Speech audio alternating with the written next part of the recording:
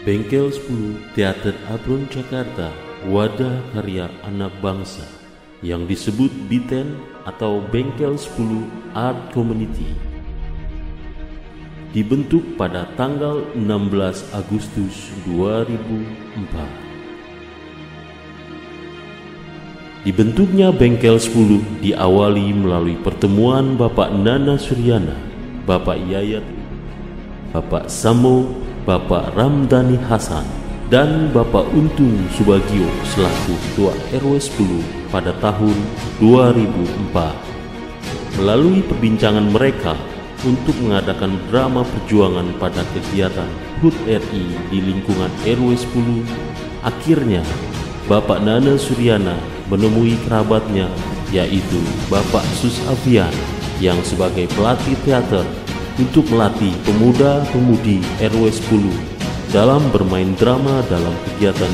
HUT RI di lingkungan RW 10 Afro.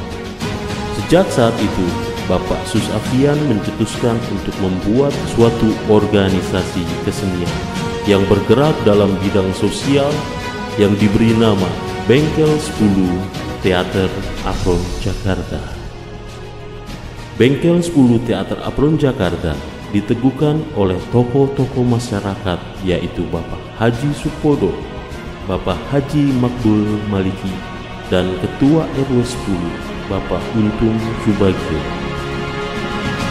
Bengkel 10 memiliki tiga divisi, yaitu divisi teater,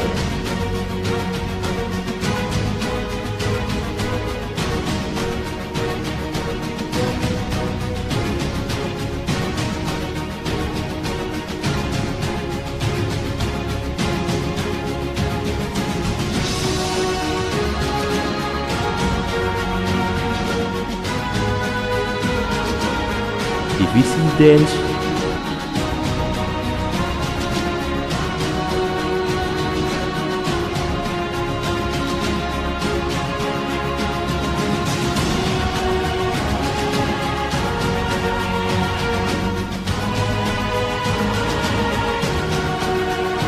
dan divisi musik.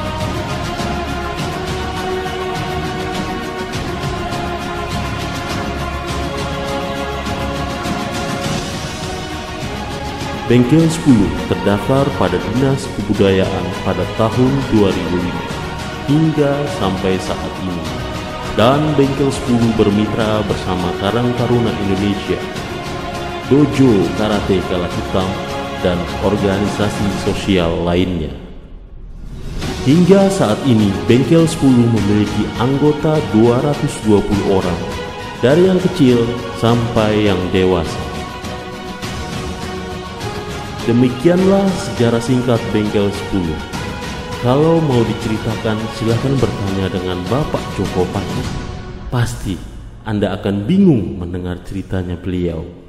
Hehehehehehehe. Bengkel 10, jayalah selalu dan menjadi yang terbaik.